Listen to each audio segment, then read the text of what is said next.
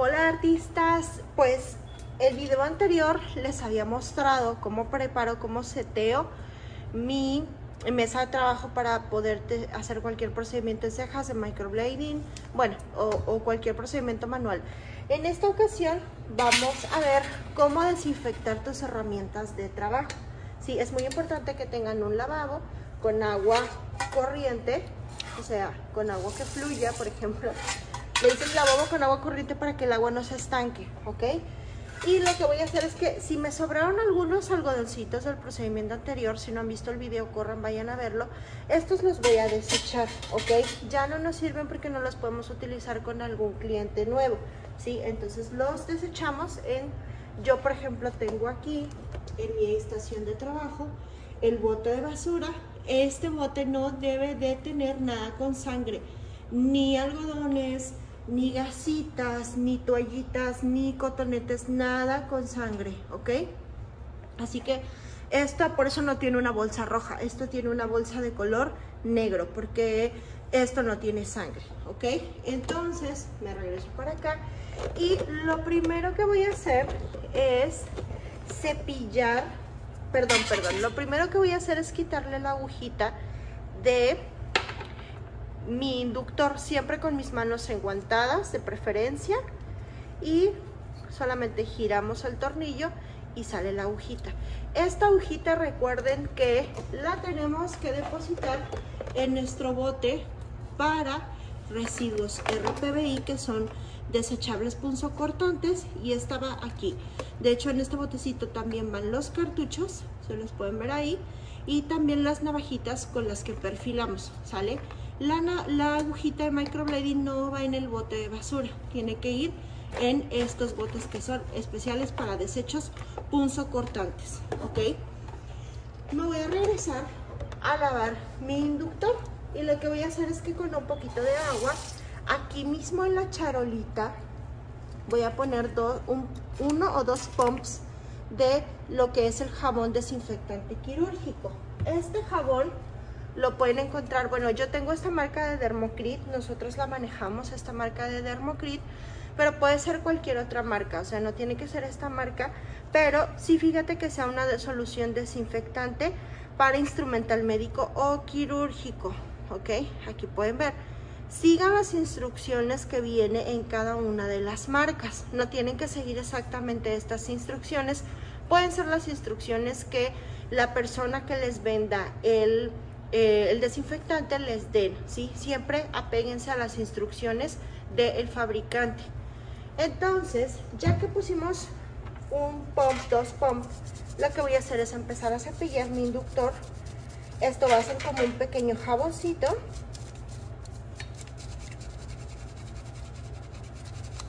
Y voy a empezar a tallar muy, muy, muy bien la cabeza, el tornillo, todo lo que es la parte del cuerpo de aluminio o el cuerpo, perdón, de acero inoxidable de tu inductor. Y también lo vamos a abrir y a separar completamente de todas las partes, ¿sale? Voy a cepillarlo aquí adentro con un cepillo de dientes. Entonces lo cepillo perfectamente bien. También voy a cepillar el tornillo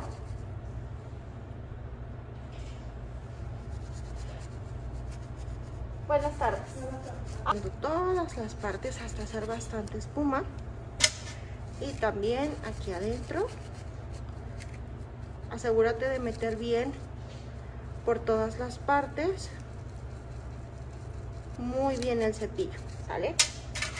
Lo que va a pasar es que lo puedes dejar aquí en desinfección aproximadamente unos 10 minutitos o 15 dependiendo, esto es muy, importante hacerlo con guantes porque este jabón puede ser un poquito abrasivo para las manos, entonces no lo hagan sin guantes. Puedes tener unos guantes especiales para hacer precisamente todo este procedimiento de limpieza. Y ya que esperamos los 10 minutos, procedemos a enjuagar todo nuestro inductor. Yo te recomiendo que hagas este proceso al final del día, eh, ya digamos que cuando estés desinfectando todos tus, todos tus este, inductores del día, o sea, no vas a estar desinfectando y haciendo este proceso con cada uno, ¿sí? Los dejas reposar y vuelves, digamos como que yo todos los inductores que utilizo durante el día, hago este proceso y para tener el siguiente día todos mis inductores ya listos para trabajar. Entonces solamente lo voy a dejar 10 minutitos y los juego. Ok, ya que pasaron los 10 minutos, lo que voy a hacer es enjuagar. Muy bien otra vez con agüita.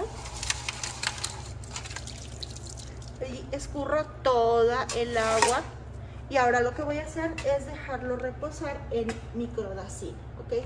Me voy de este lado de mi mesita para ahora sí ponerle microdacil.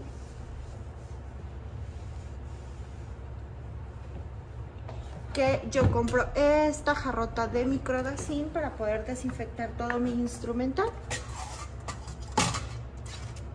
para que se quede nadando en el microdacin. Y si se les cae un poco, igual pueden hacer este mismo proceso con las tijeritas, con eh, si utilizan a lo mejor alguna pinza para perfilar, si utilizan este algo, todo lo que sea de metal o aluminio que sea reutilizable pueden hacer este mismo proceso.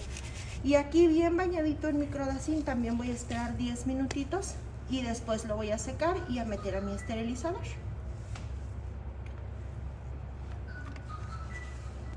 Ok, ya que pasaron los 10 minutitos, podemos comenzar a secar nuestras herramientas con una servilleta de papel y ya bien sequecito, muy muy muy bien seco. Si tienes dudas acerca si de que si quedó completamente seco o no, lo puedes dejar secando un día o dos y ahora lo que vamos a hacer es que ya bien seco del microdacin, yo lo vuelvo a armar o lo puedes meter desarmado como tú quieras. Si quieres mételo mejor desarmado, pero ya desarmado lo que voy a hacer es meterlo a la bolsita para esterilizar, ¿ok?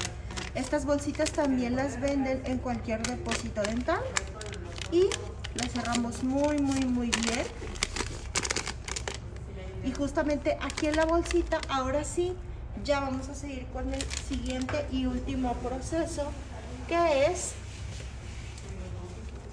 meterlo a nuestro esterilizador, ¿ok? Yo tengo este esterilizador, lo compré en Amazon, ese es esterilizador de calor, y lo que vamos a hacer es meterlo aquí, bueno, aquí yo tengo los míos que ya están previamente esterilizados, Vamos a meterlos todos a esterilizar durante 20 minutos. De hecho, aquí tengo, por ejemplo, el temporizador que me marca el tiempo y aquí la temperatura. Yo te recomiendo que sea mayor a 180 grados y al menos unos 20 minutos. Para que no estés gastando demasiada luz entre algunos, puedes meter todos tus inductores que vas a esterilizar. Estos ya estaban previamente esterilizados y los puedes meter para que todos se esterilicen al mismo tiempo y no tengas que estar gastando luz por cada uno de los inductores, ¿sale? Y así ya te quedan listos para volverlos a utilizar, totalmente esterilizados, totalmente desinfectados y limpios y le puedes comentar a tu cliente que siempre le vas a enseñar su inductor que está completamente esterilizado. Tengan cuidado porque solamente los inductores que son completamente de metal o aluminio se pueden hacer este proceso. Si tienes de los inductores que son de piedritas,